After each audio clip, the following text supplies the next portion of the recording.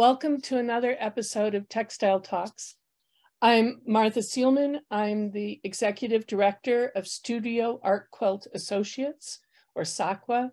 We are a membership organization with more than 4,200 members from around the world. And as part of our global outreach, we really wanted to bring you some textile talks that are about artists from different parts of the world. And um, so I'll be sharing uh, wonderful art with you from a collaborative pair of artists from Argentina in just a minute. Um, I wanted to first uh, thank our sponsors and our donors. Uh, without them, we would not be able to put on Textile Talks. And if you enjoy today's Textile Talks, I hope that you will also make a donation um, to support the programming that we put on each week. Uh, I wanted to also tell you that right now at SAQA.com, we are running our annual benefit auction. We had 430 small artworks donated by our artist members, and we have been selling them online. Uh, check it out at SAQA.com slash auction. There is some really amazing artwork available for sale right now, which helps to support our programming and our exhibitions program. One of the big benefits of textile talks has been the opportunity to collaborate with the other organizations that are putting on textile talks. And so um, I wanted to um, do a big shout out to Camilo Sanchez from the International Quilt Museum because he made it possible for us to interview Leo Sciacchio and Daniel Giannone, who really preferred to talk about their art in Spanish. And um, my Spanish is pretty much non-existent, but Camilo is fluent in several languages and was able to make it possible for us to conduct this interview. And I want to thank Lucy Shakin, who then took the video footage of the interview and did some wonderful editing to put it in the form that you're going to be able to see today. Sciacchio and Giannone are an artist collaborative duo um, who work in embroidery using found objects as well as uh, fresh material in order to create commentary about the cultures that we live in, current events, and um, how society views different kinds of family. Um, they are particularly um, interested in showcasing their wonderful dogs um, in many of their works, and you'll see that soon.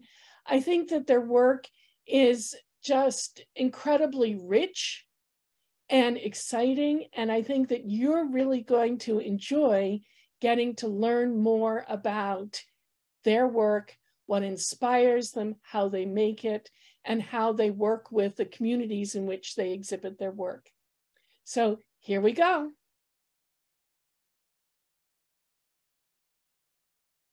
Bienvenidos Leo y Daniel. Eh, es un gusto tenerlos eh, aquí en los Textile Talks y pues este es su espacio, así que adelante. Ah, muchas gracias por la invitación. Estamos muy contentos de poder hablar con ustedes y hablar en nuestro idioma, nuestra lengua madre, que es el español. Así que trataremos de dar lo mejor que, podamos hoy. Bueno, muchas gracias por, por, esta invitación. Nosotros somos Chachi Gianone, somos una dupla creativa, una pareja en el arte y en la vida. Eh, vivimos y trabajamos en Buenos Aires, Argentina. Él es Leo Chiacho y yo soy Daniel Gianone.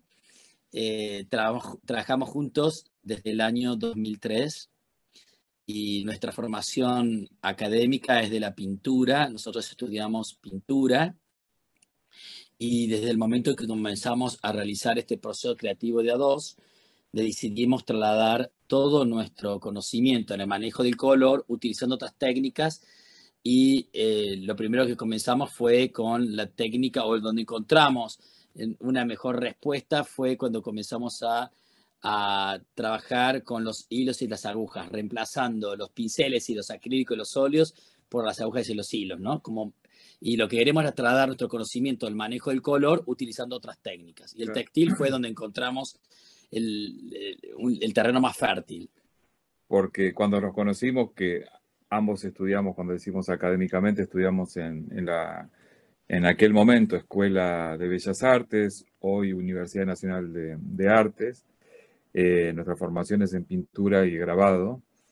Y cuando comenzamos a trabajar juntos, como esta idea de romper un poco la eh, individualidad y que, que, haya solo como una idea más, más romántica de, de, un solo autor, sino empezar a pensar estas nuevas maneras de, entender eh, las identidades. Entonces era, bueno, pensar como un hecho creativo de a dos y que sea un artista hecho por, por dos personas. ¿no? Y en ese momento, cuando empezamos a trabajar juntos, necesitamos que haya una técnica que no sea ni la pintura, ni el grabado, ni el dibujo, ¿no? en, los términos tradicionales que estamos hablando de estas técnicas, sino era encontrar una nueva manera que ya pertenezca a Checho y Giannone. Y nos dimos cuenta que el bordado, que además nos fascinaba y nos, encantaba hacerlo, y nos gustaba la superficie y, la complejidad de, de la realización, el tiempo, y un material que era seco, que lo podíamos llevar para cualquier lado y en cualquier lugar podíamos hacerlo. Ya necesitábamos el taller equipado para pintar con grandes bastidores, si no teníamos una tela, doblábamos, lo poníamos en una bolsa, hilos, agujas, tijera y el hoop y listo. Y ahí salíamos a, poder hacer en cualquier lado, ¿no? Entonces el bordado un poco vino a, a, suplir, ¿no? E, e, eso de la técnica. Pero igual pensamos que es pintura.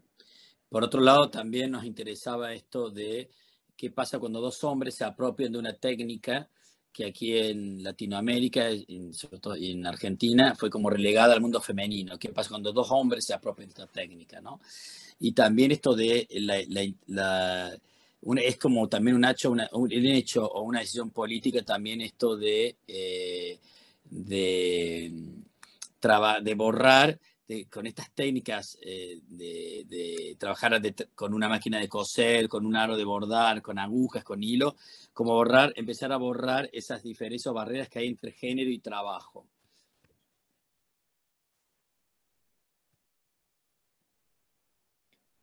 Si, si quieren podemos empezar a ver eh, las obras, podemos ir hablando un poco del proceso de, producción desde el comienzo hasta ahora y después las preguntas que quieran.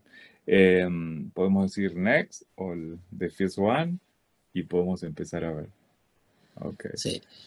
Nuestros primeros bordados eran bordados eh, de línea, prácticamente, el bordado como línea, ¿no? Eh, como dibujo. Eh, como pueden ver en esta obra que se llama Sebastiano, el bordado es, eh, es casi una línea de dibujo. Siempre están presentes los colores de la bandera de eh, gay en, en, los bordados y lo que representamos en este momento fue la imagen de San Sebastián, que es una imagen súper revisitada en la historia del arte, ¿no? como y en la iconografía gay, como el joven bello herido y, lo importante de este trabajo es que, eh, bueno, para, para, ver es que estos bordados eran realizados sobre telas, eh, en este caso un blue jeans, telas lisas, ¿no? que eran mm, bordados como casi eh, a la manera de dibujo. Next. nosotros en, hace 18 años decidimos tener un hijo perro mascota llamada Piolín, ¿no? que es un, perro salchicha, en, inglés es Basset Hound, y eh, Piolín vino como a completar esta triada divina y a formar la idea de la, familia, porque otro también de los ejes con los que trabajamos nosotros es hablar un poco de, eh, hablar de los nuevos modelos de, familia en la sociedad, ¿no? Entonces, en este caso, una pareja, una familia compuesta por dos hombres con su hijo, perro, mascota, ¿no? Y eh, Piolín, cuando llegó a nosotros, eh, como cuando todo un niño que forma parte de una familia, bueno, inmediatamente comenzamos a, comprar, visitar eso, eh, eh, la juguetería, comprar juguetes, regalos, y Piolín recibía muchos, muchos regalos, y Piolín eh, muchos juguetes. Y todos estos juguetes, Piolín tenía la, habilidad de destruirlos en, en las primeras 10 minutos que se los entregábamos. Entonces, eh, los guardábamos, guardábamos todos los muñecos de Piolín rotos y destruidos y, decidimos hacer un, trabajo eh, que se llama Piolín sus juguetes, donde eh, de la boca de Piolín cuelga uno de, los muñequitos que él siempre los destruía, los, rompía te los traía y te los entregaba, ya totalmente vaciados de su contenido. Entonces hicimos esta, este, este trabajo. Ah, y en relación, por ejemplo, a a las tradiciones eh, eh, de, ritos o religiosas de América Latina. Eh, en Argentina hay una santa popular que se llama Difunta Correa. La Difunta Correa es una, una santa popular que, va por el desierto con su hijo, con su bebé, y ella se muere y el hijo se mantiene vivo tomando de su teta, ¿no? de esa madre muerta y sobrevive. Entonces, en la tradición popular, todo el mundo le, eh, le lleva botellas de agua a, a esa santa. ¿no? Entonces, esto se transforma un poco en esta idea de, de, los peluches, que además de que Piolín los rompía después nuestros amigos, que ya tenían hijos que eran grandes, o amigos con otra situación que pasaron con sus hijos, nos, nos, daban, nos donaban los, los peluches para esta instalación. Entonces la hemos hecho en varios museos donde la gente, por ejemplo, aquí pueden ver que hay, hay muchos peluches y estos peluches eran donados por la gente que visitaba el museo y luego cuando se terminaba la muestra, esos peluches donados o puestos en ofrenda a Piolín, los regalábamos o los donaba el museo para una institución. Entonces fue, hay muchas cosas que en nuestro trabajo, que después vamos a ver más adelante, es muy importante ese, ese eje con, en relación a, quien visita, en relación a un público, en relación a, otro, ¿no? Cuando nosotros trabajamos y, y, pensamos este, este, hecho creativo como Chechi y Janone, como una dupla creativa, siempre nos gusta extender ese, ese, ese terreno de la participación, ese terreno del trabajo en común con, con otros y otras y otras. Entonces, eh, capaz que muchas de estas piezas son, fueron como la génesis de estos trabajos que hoy podemos hacer, por ejemplo, cuando hacemos las banderas eh, en comunidad con 4.000 personas, por ejemplo. Eh, next. Y acá, todas estas piezas que vemos pertenecen a una muestra que hicimos en la Galería Ruth Benzacar en Buenos Aires en el año 2012 la muestra se llamó Bordatón y en realidad es una especie de mezcla de palabras entre reggaetón. Como en Spanglish. Eh, sí, reggaetón, maratón, ¿no? pero era con el bordado. Entonces era un poco de juego de palabras con el reggaetón y un poco de, esta cosa de, carrera, ¿no? De, y de interminable de, kilómetros y kilómetros para correr y de bordado. Y, nosotros le pusimos bordatón, ¿no? Junto a, María Moreno, que es una escritora argentina, que ella fue la que escribió el texto de la muestra. Y en este caso, con esta pieza Bomberos, y no sé si hay otra, pero la idea nuestra fue en, esta exposición, que eran todos bordados y algo de porcelana, era crear dentro de la, de la sala de exposición un pequeño, una pequeña habitación, un pequeño cuarto, un dormitorio. Un dormitorio de un niño. Pero ese niño es un niño gay. Y en realidad éramos el, recuerdo de nosotros como niños gays. ¿no? Porque generalmente nunca se habla, o, en la época, ¿no? Estoy hablando de hace 10 años, no, no se hablaba mucho de, de, los niños o niñas gays. Entonces creamos esto, que eran todas estas escenas de estereotipo del mundo gay, son unas telas de Alexander Henry, que es un diseñador que las compramos en San Francisco, en, California, y cuando las vimos en California era como perfecto, ¿no? El match que había entre las telas que comprábamos y, y los chicos que estaban caminando por la calle, era perfecto, ¿no? Porque era lo mismo que estaban las telas que lo que estaba en la calle. Y surgió esta idea de, crear este cuarto de niño gay, donde poníamos estas telas que eran a simple vista, parecían a lo lejos, parecían telas infantiles, pero cuando te acercabas había cierta cuestión del estereotipo de, de la comunidad ¿no? LGTB, el bombero, eh, rescatando, y hay otras telas que está el cowboy, eh, el leñador, y nosotros jugando un rol dentro de, esas telas, ¿no?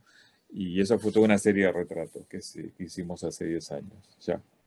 Y de lejos, cuando ingresabas a la sala del niño gay, veías como todos unos cuadros, unos afiches, a modo de afiches, de eh, como muy ingenuos, pero cuando te ibas acercando empezabas a descubrir la imagen de estos hombres como muy, muy bellos, muy, con un cuerpo muy excitante y, en posturas excitantes, como sexys. ¿no? Y, esto que Leo recién hacía referencia, como no, eh, sobre todo en Argentina, no siempre hacemos foco en que nosotros trabajamos y producimos desde Buenos Aires, donde la realidad es otra quizás a lo que es el, Norteamérica, o donde, bueno, aquí en estos años no se hablaba ni eh, de la sexualidad de los niños.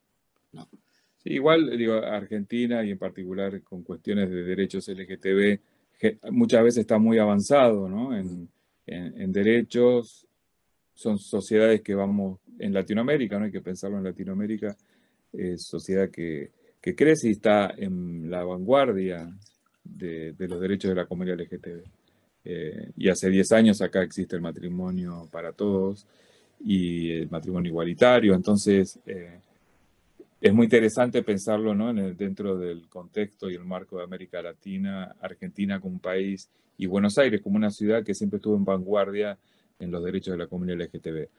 Siempre hay mucha pelea, siempre hay que seguir luchando y levantando la bandera, por eso nosotros con nuestra obra siempre hablamos de esto. ¿no? Es, eh, es lo que nos interesa hablar de nuestro trabajo también, porque sabemos que en cualquier momento alguien puede tomar la decisión que sacar esos derechos, entonces siempre hay que seguir eh, luchando.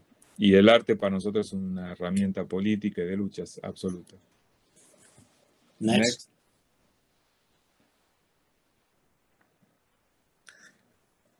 Eh, esta pieza le tenemos mucho cariño. Fue una de las primeras que empezamos a hacer. Eh,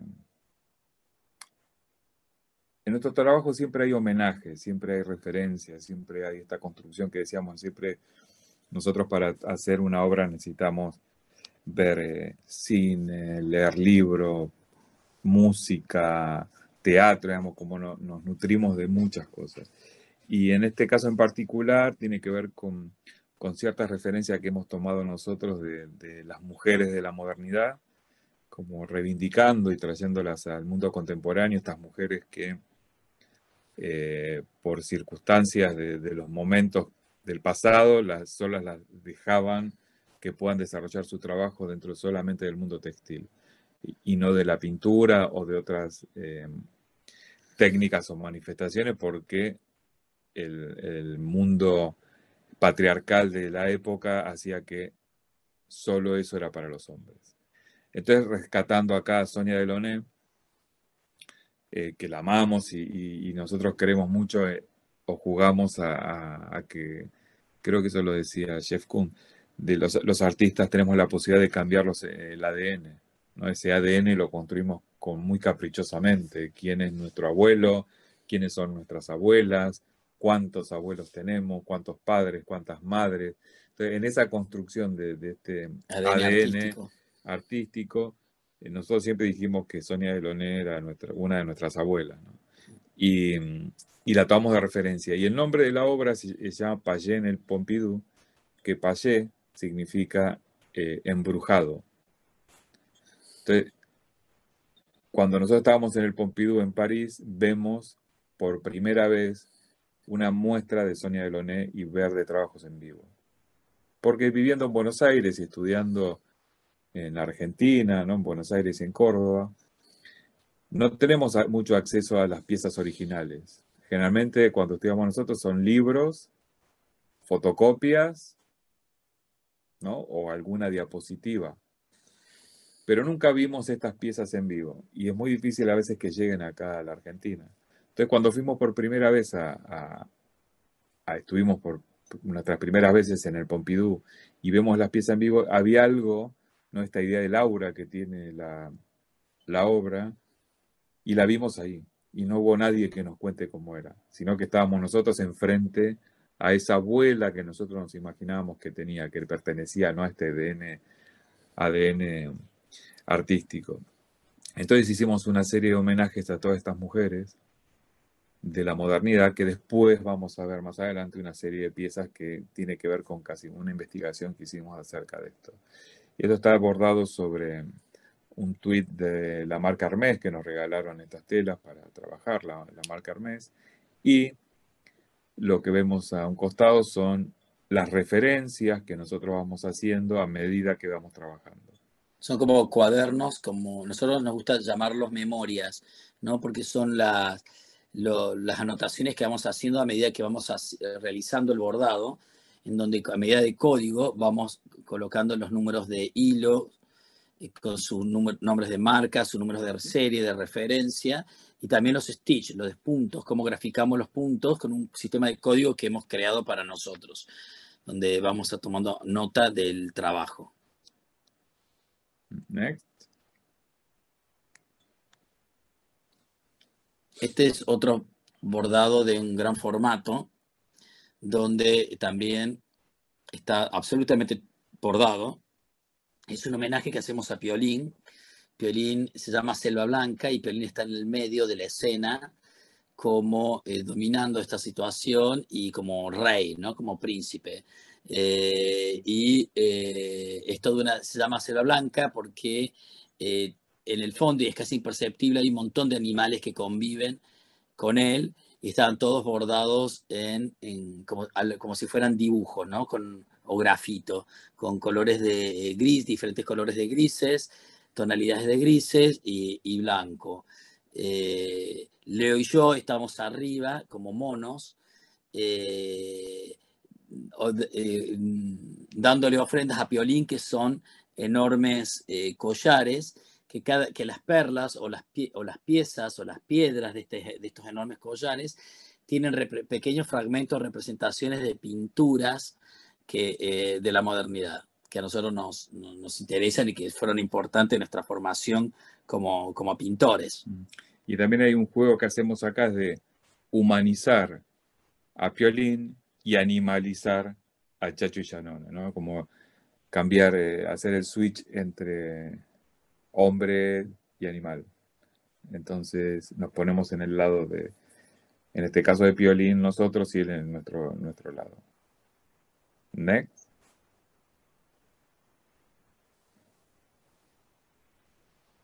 Esta pieza perteneció a una muestra que hicimos en París que se llamó um, Ubras de Garzón.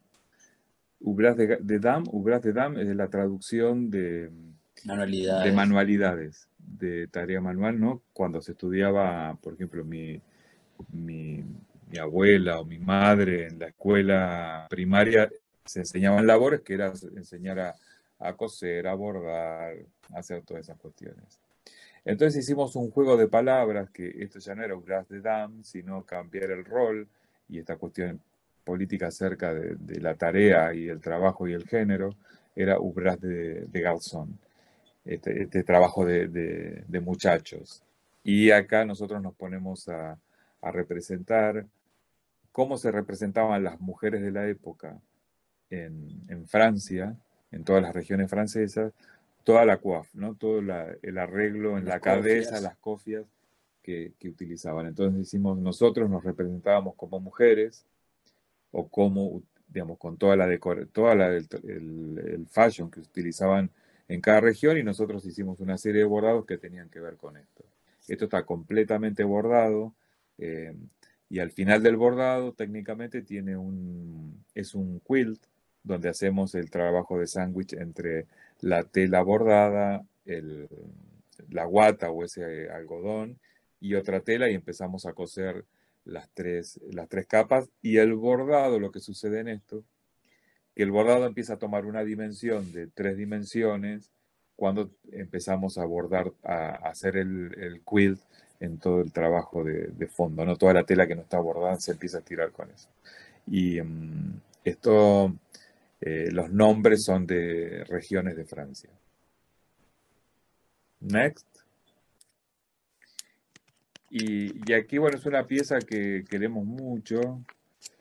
Cuando empezamos a hacer esta pieza se llama pared bordada, la idea era hacer una pieza que tenga un comienzo, pero que no tenga un fin. ¿No? Como seguimos hablando de esto de un poco de la piedra de Sísifo.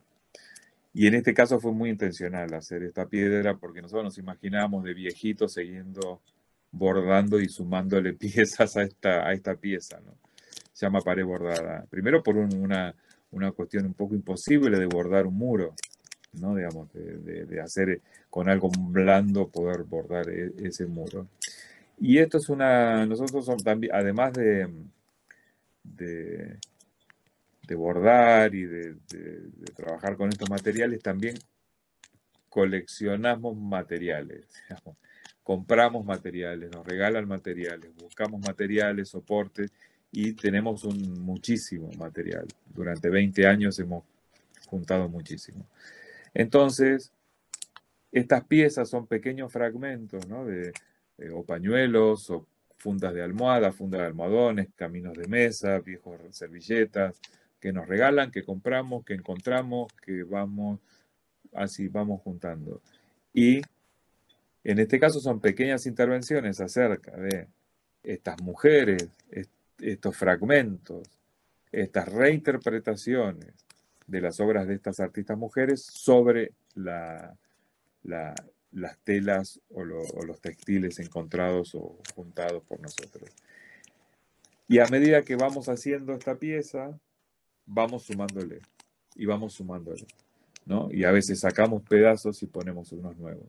Entonces, cada vez que instalamos esta pieza, siempre es diferente, siempre es otra, pero siempre es la misma, ¿no? Entonces, como también pensar en nosotros como nuestra identidad, que somos los mismos, pero siempre somos diferentes, un poco ese vínculo poético entre, entre la idea de la identidad. Y, esta pieza la amamos porque tiene eso de, es una obra muy juguetona, muy de mucho juego, ¿no? Porque eh, si alguien dice, bueno, queremos poner la pared bordada, bueno, veamos qué hay, ¿no? Veamos qué, qué, se puede poner, ¿no? Como, como una idea también de, no ser tan solemne a la hora de mostrar una pieza. Otra idea que nos interesa a nosotros es trabajar con materiales, eh, eh, con materiales que encontramos, que materiales que nos donan, es con materiales reutilizados, reutilizar estas, eh, estos materiales, estas telas que utilizamos como soporte con la idea también de darle una segunda posibilidad a las telas, a las cosas, ¿no? La, idea como romántica casi de darle una segunda vida, porque todos estos materiales son materiales que quedaron en desuso, como por ejemplo servilletas que, de tela bordadas que la gente ya no usa más, o eh, fundas de almohada o de almohadones, que también por un tema de, de la moda quizás quedaron en desuso o porque envejecieron y nosotros los tomamos lo bordamos sobre ellos y le damos una, una nueva vida. Next. Cuando nosotros tuvimos la posibilidad de realizar una exposición en Capri, en Italia, decidimos conocer Pompeya eh, y el sur de Italia porque la familia Leo, descendiente, los dos somos descendientes italianos, pero Leo, su familia es descendiente de esa, del sur de, de Italia y tuvimos la posibilidad de conocer Pompeya. Cuando conocimos Pompeya, nos enamoramos de los murales de mosaico de, eh, de Pompeya y decidimos, cuando volvimos a Argentina, ya nosotros habiendo realizado eh, cerámica, de realizar eh, mosaico, pero decidimos no trabajar con el mosaico con piezas de cerámica, con teselas de cerámica, sino realizar mosaicos blandos, como soft mosaic. Y, eh, y, la idea fue como traducir qué pasaría si el mosaico se volviera blando, si el mosaico se volviera textil. Y, y lo que hicimos fue comenzar a teñir telas para lograr estos distintos valores de colores. Y lo que hacíamos es realizar un tratamiento a la tela para que la pudiéramos cortar en pequeñas a la manera de teselas y poder simular un mosaico, pero un mosaico blando. Todas son telas reutilizadas, todas telas teñidas por nosotros que eh, tienen un tratamiento de engomado, eh, que eh, son fijadas a la tela de base, que también está teñida y pintada por nosotros, con calor.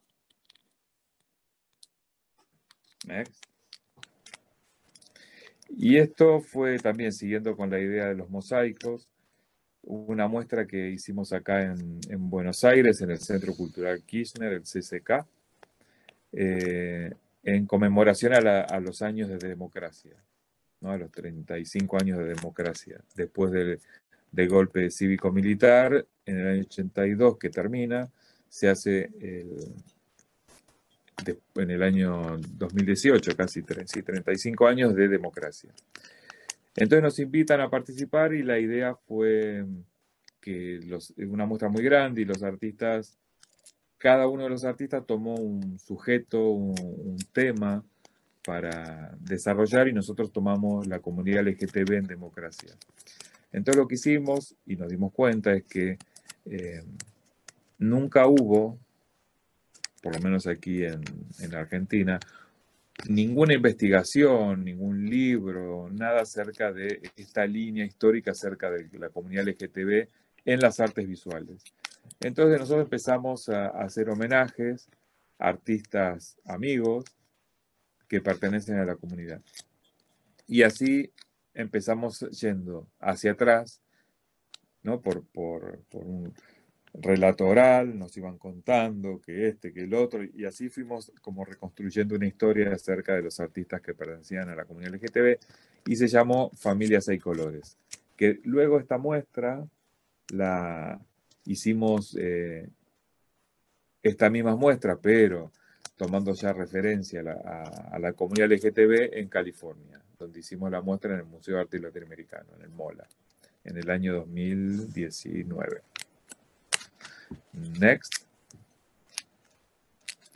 Y en el marco de esta muestra de familia a seis colores, sabíamos que queríamos poner cuanto más gente podíamos nombrar, mejor para nosotros, porque queríamos, no, queríamos que alguien se quede fuera. Entonces teníamos muchos amigos que no pertenecían a las artes visuales.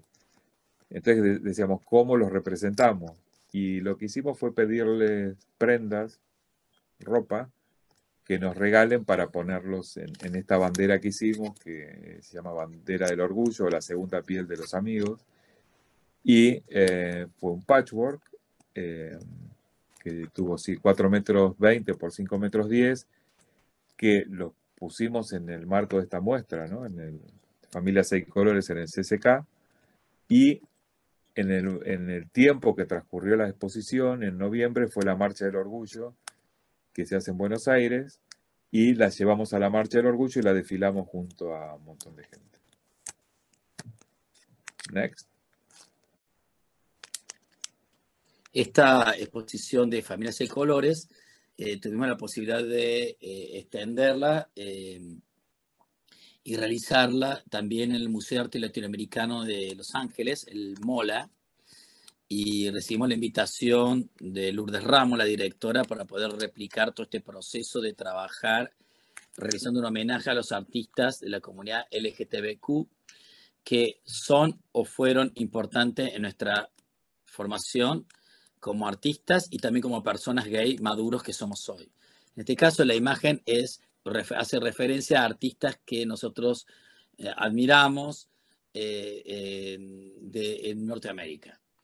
Eh, como en el caso de Joe Terriel o eh, Esparza, eh, o Judy Baca y diferentes otros artistas que, que nosotros quisimos como dar pequeños guiños a modo de homenaje.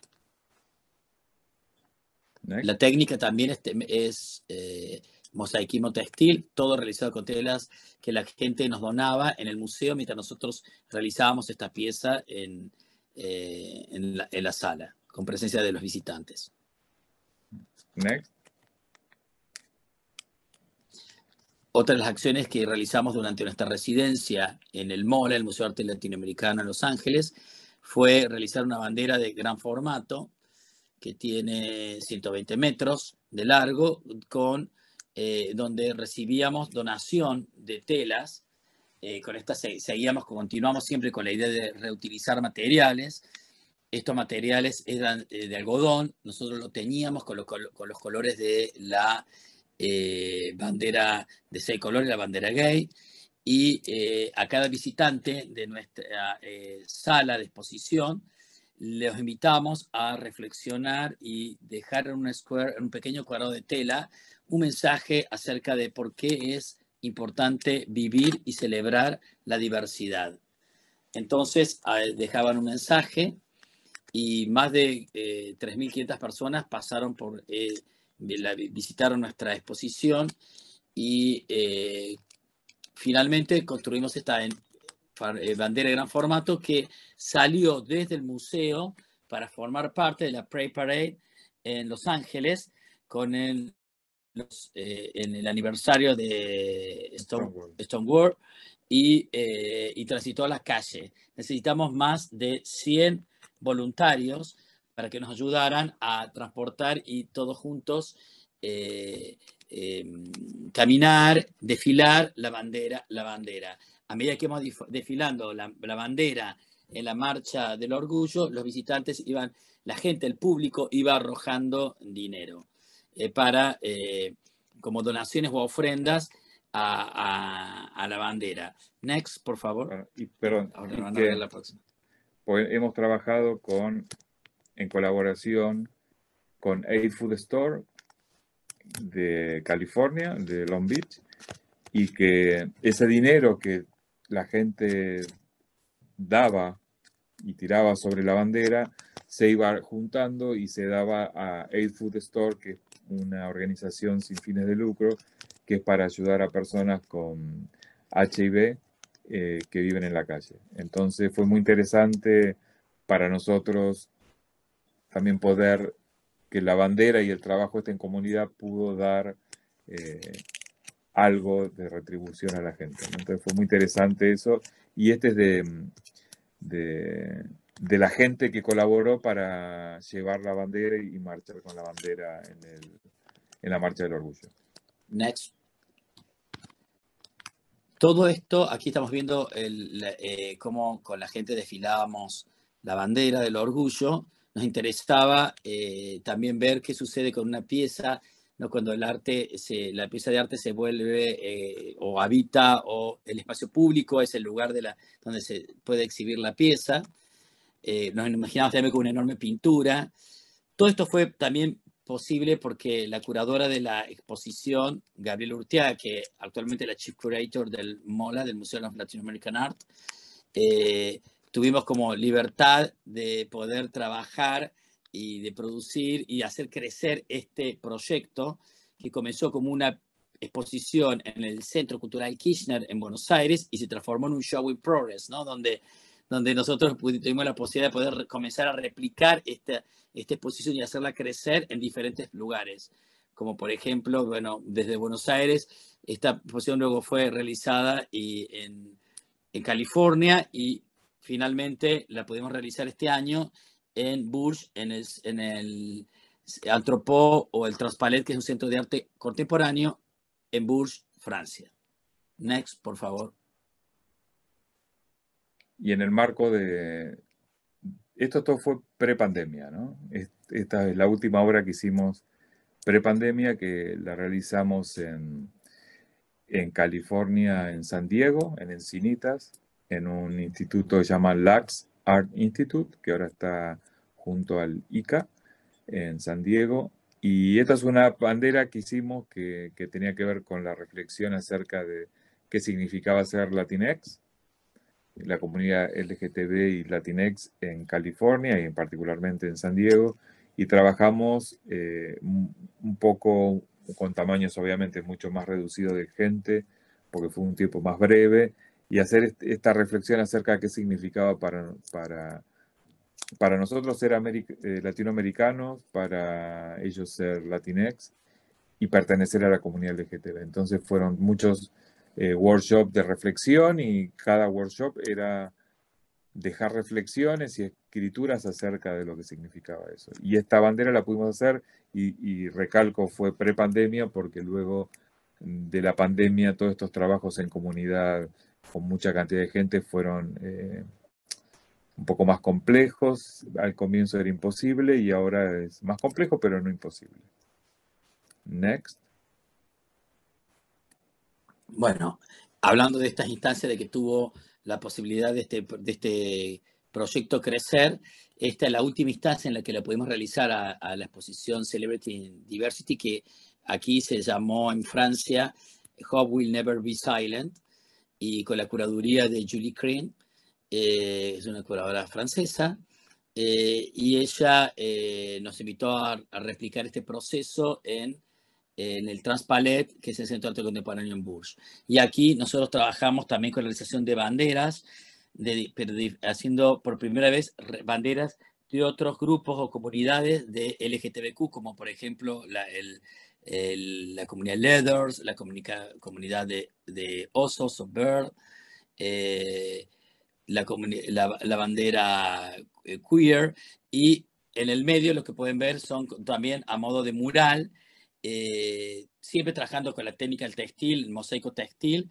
Eh, estamos Leo y yo representados en estos, en estos cuadros, estas pinturas blandas, en estos mosaicos, y haciendo referencia a artistas eh, que pertenecen a la comunidad LGTBQ también. Next. Aquí tenemos otra parte de, de la muestra en Burr con banderas, estos son, la técnica es Crazy Quilt, eh, hecho con ropa nuestra y ropa de amigos, que los fuimos reutilizando, gente que nos donaba y vamos reutilizando estas telas para hacer estas banderas y las llevamos para Antropo, para Transpalet. Next.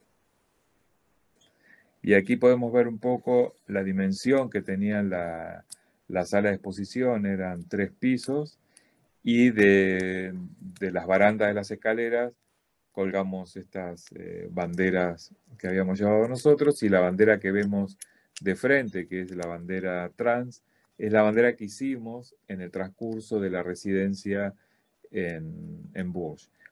Un poco la idea de la residencia es no hacer la residencia fuera de la sala, sino que nosotros en la exposición nos instalamos dentro de la sala de exposición y ahí hacemos la residencia. Es decir, cuando los visitantes vienen, van a descubrir a dos artistas trabajando. Y eso nos interesaba mucho hacer hincapié en cada, cada vez que lo podemos hacer y que la institución nos permite, lo hacemos, es que nos vean trabajando, también un poco para cortar el misterio de lo que es que un artista trabaje.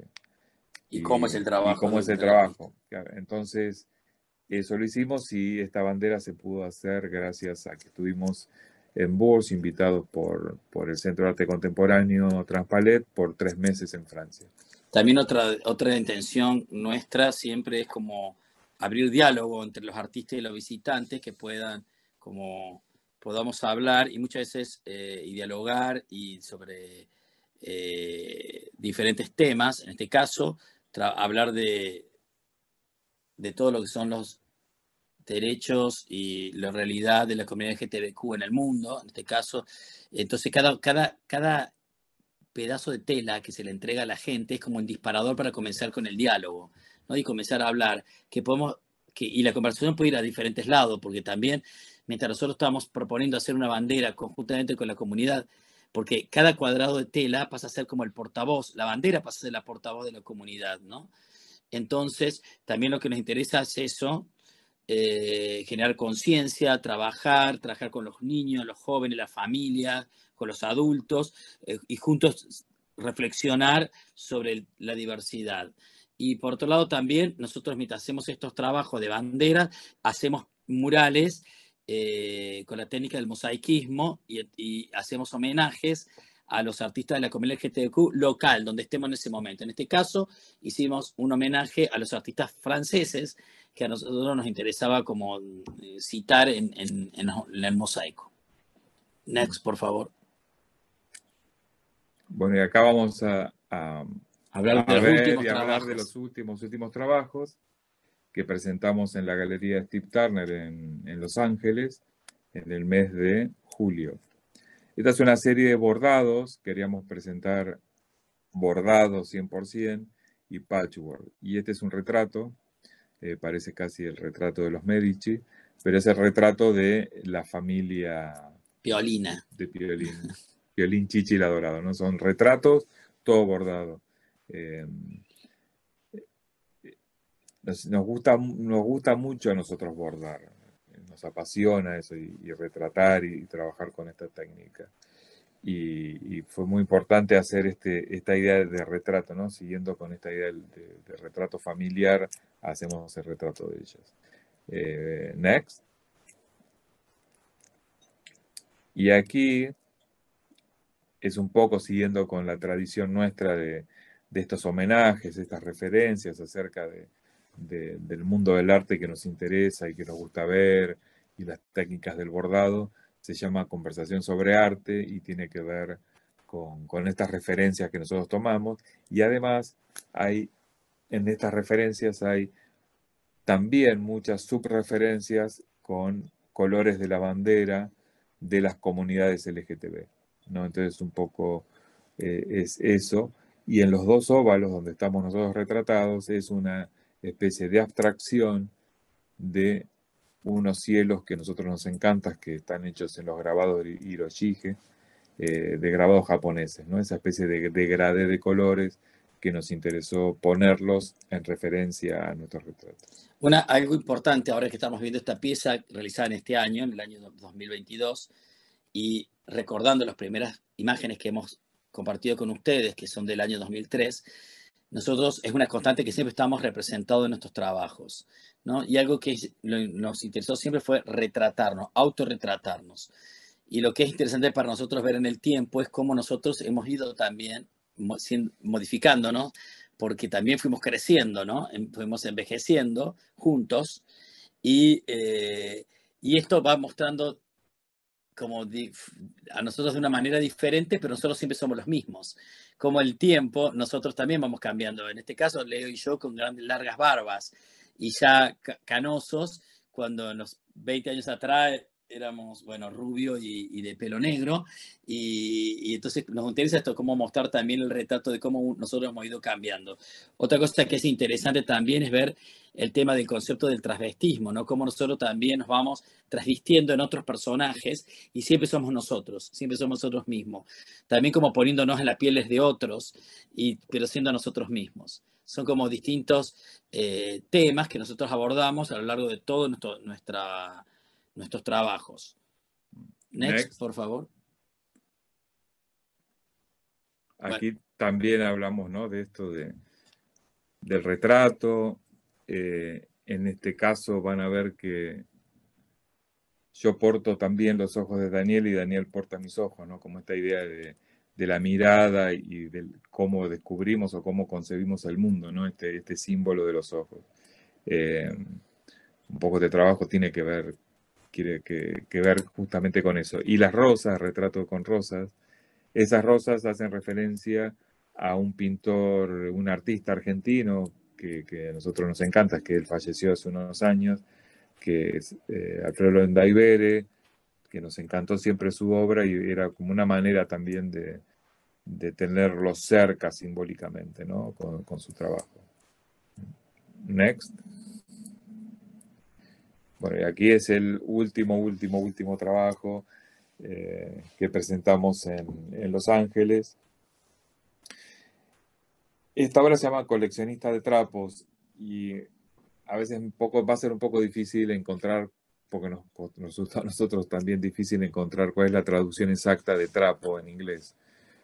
Porque también es cuando nosotros, las telas, los trapos, todo eso, esto, esta idea que nosotros somos coleccionistas de todo eso.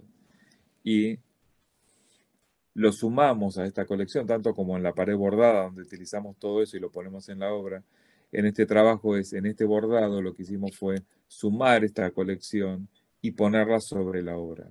Y, aplicamos todos los bordados, los intervenimos y hicimos esta pieza. Y ya nosotros, una situación muy del hogar, ¿no? haciendo fiaca, haciendo en la cama, con relax, con los perros y como que alguien nos, nos, sacó esta fotografía y nos detuvo ¿no? en, este, en este momento que es muy placentero.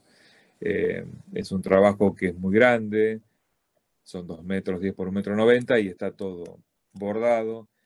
Y lo que ven por, por detrás, que esas telas son, es un, patchwork que hicimos, ¿no? toda la superficie grande, y además está todo eh, quilteado.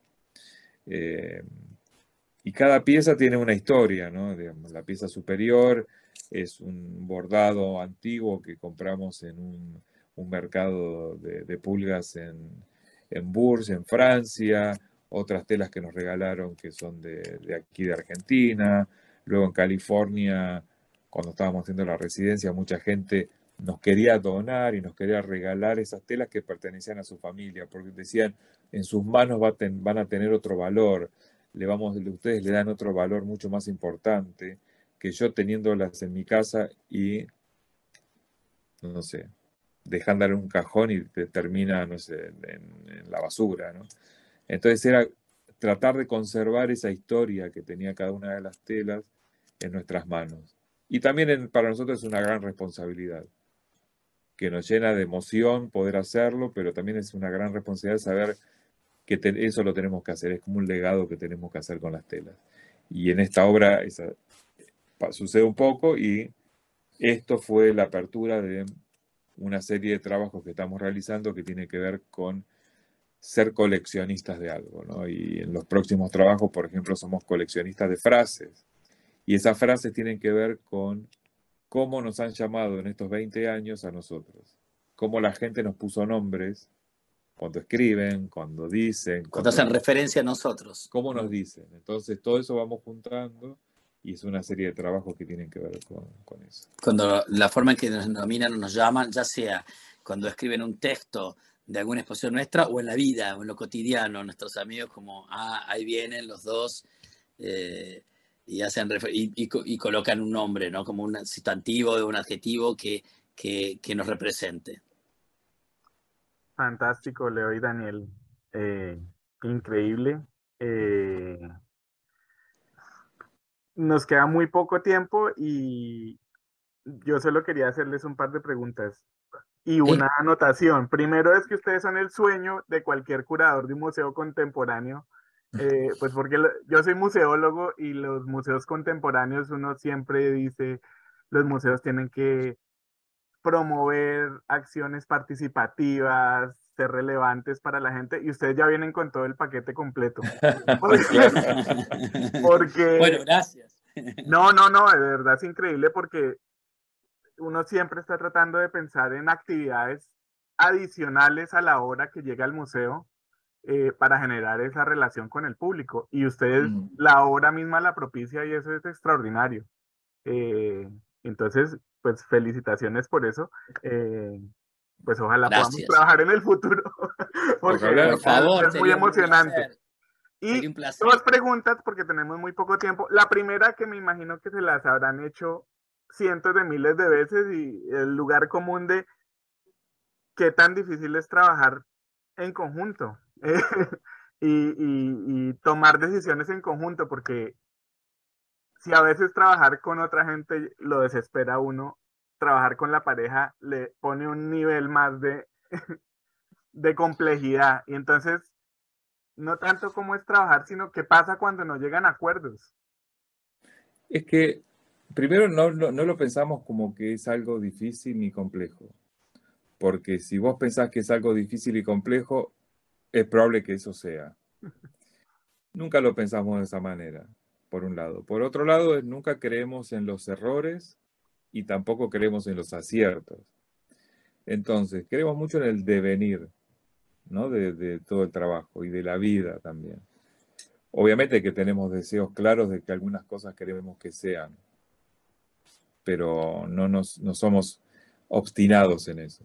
Por otro lado... Pues nunca terminan eh, peleados con una obra. No, No, hablamos no podemos mucho. pelear por otras cosas, pero no por una No, obra. pues, ¿sabes lo que pasa Muy bien. también, Camilo, es que en el textil, y, y si la gente que vea esto y, hace textil se va, va a saberlo, es- uno necesita mucho tiempo. Mucho tiempo para poder ver algo. Qué maravilla que lo sí, mencionen porque esa era mi siguiente pregunta, que ya no es tanto Claro. el lugar común de qué tal es trabajar uno con otro, sino Sí.